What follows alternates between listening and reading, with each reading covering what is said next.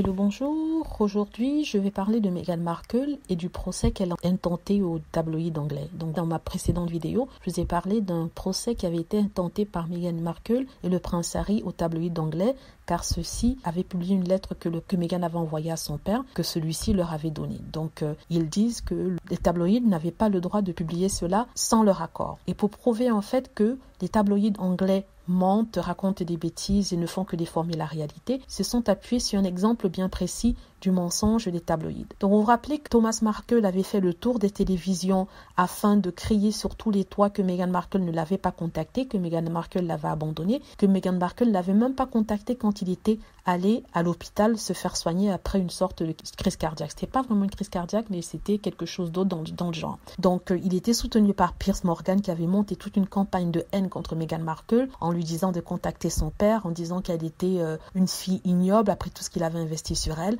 la traitant de tous les noms et tous les haters et tous les trolls étaient montés au créneau en criant sur tous les toits que Meghan Markle est une fille indienne. Il y a eu la première partie du procès aujourd'hui à Londres et dans les mémoires de ce procès-là, les transcripts de ces procès-là, on a les SMS que Meghan a envoyés à son papa bien avant le mariage, une ou deux semaines avant le mariage. Dans ces messages, on apprend que Meghan a appris par la presse que son père était malade. Voilà ce que le premier message dit. Ça, c'est Harry qui parle. Tom, c'est Harry. Je vais t'appeler maintenant, s'il te plaît, décroche. Merci. Après, il écrit encore. Tom, Harry encore. Vraiment, j'ai besoin de vous parler. Vous n'avez pas besoin de vous excuser. Nous comprenons les circonstances, mais rendre public toute cette affaire ne fera qu'aggraver la situation. Il répète encore. Si vous aimez Meg et que vous voulez bien faire les choses, appelez-moi, car il y a deux autres options qui ne vous obligent pas à parler aux médias, qui ont d'ailleurs créé toute cette situation. Il répète Alors, s'il vous plaît, appelez-moi pour que je puisse vous expliquer. Meg et moi ne sommes pas en colère, nous devons juste vous parler. Merci.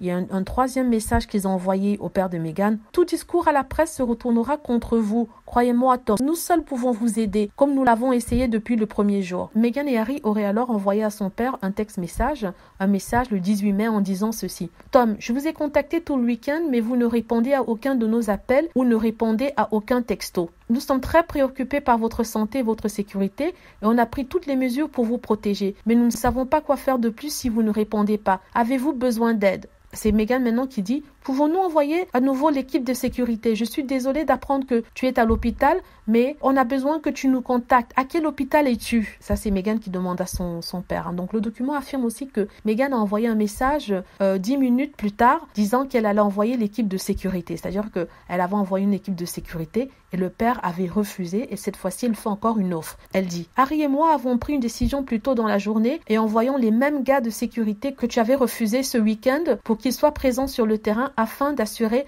ta protection et que tu sois en sécurité. Ils seront là à ta disposition dès que tu en auras besoin. Donc là, vous voyez bien qu'il précise bien dans ce texte qu'ils ont envoyé des gens pour protéger le père de Meghan et le père de Meghan a refusé. Il renvoie encore cette même équipe une deuxième fois. Donc, d'après euh, les documents juridiques, M. Markle a répondu et a répondu qu'il ne sera à l'hôpital que quelques jours et a refusé leur offre de sécurité. Harry a ensuite envoyé un message depuis le téléphone de Meghan suppliant Thomas Markle de laisser la sécurité l'aider, mais M. Markle a continué à refuser. Les documents indiquent aussi que M. Markle a, Thomas Markle a répondu plus tard dans la soirée pour dire qu'il appréciait l'offre, mais qu'il ne se sentait pas en danger et qu'il resterait plutôt dans un motel. Ce à quoi Meghan Markle a répondu dix minutes plus tard Est-ce que tu peux nous donner, s'il te plaît, les détails de l'hôpital et aussi de l'hôtel dans lequel tu vas descendre? Ça, ce sont les textes messages datés qui ont été envoyés au père de Meghan Markle, hein, Thomas Markle. Dans ces textes-là, ils disent bien à Thomas c'est pas grave ce que tu as fait auparavant, c'est-à-dire le montage de photos euh, qu'il avait fait avec les avec l'accord des paparazzi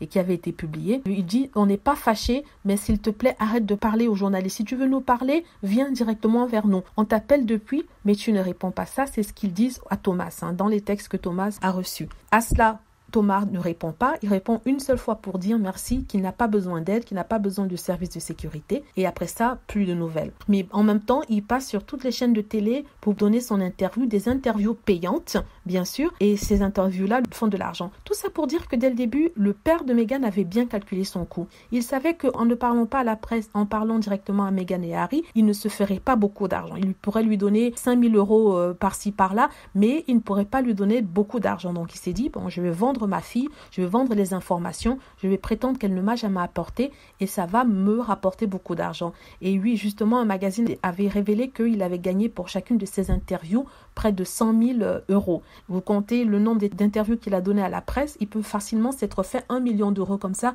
sur le dos de sa fille. Le pire dans tout ça, c'est qu'on a toujours accusé Meghan, on l'a toujours, lui a toujours tapé dessus en disant tu n'as pas appelé ton père, tu es une mauvaise fille, après tout ce qu'il a fait pour toi, pourquoi tu ne l'appelles pas? Et voilà, les textes, ça c'est, euh, sont des textes qui sont datés, hein. c'est pas quelque chose qui a pu être... Euh, comment dire, qui a pu être truqué, qui a pu être euh, inventé, mais c'est des textes datés fournis par la compagnie de téléphone, des textes qui sont envoyés au numéro du papa de Meghan Markle. Pourtant, celui-ci, poussé par Pierce Morgan, disait le contraire. Vous voyez, le pire dans tout ça, c'est que cette information, ça n'a pas été reporté. Dans tous les médias, personne ne parle de cette affaire-là. Pourtant, si ça avait été l'inverse, les textes qui prouvaient que M. Thomas Markle avait bien contacté Meghan Markle, ben, ce serait partout dans les journaux. Et c'est de ça d'ailleurs que parle le prince Harry quand il dit que les journaux font de la fausse information, de la désinformation et qu'ils ne publient pas les informations qui leur sont données. Ils ne sont pas impartiaux. Donc voilà, ça conclut ce que je voulais dire. Peut-être que je ferai une deuxième partie pour parler de ça. Et euh, si encore euh, j'ai oublié de dire euh, certaines choses et je vous tiendrai informé s'il y a d'autres informations qui ressortent de ce procès-là. Sachant que si vous regardez bien dans les journaux français, aucun ne fait état de ce document qui a été pourtant rendu public par la Cour à Londres lors du procès avec les tabloïds. Voilà, j'espère que ça a été euh, un peu clair, mais merci d'avoir écouté. N'hésitez pas à laisser des commentaires et vous abonner pour plus de vidéos. Merci.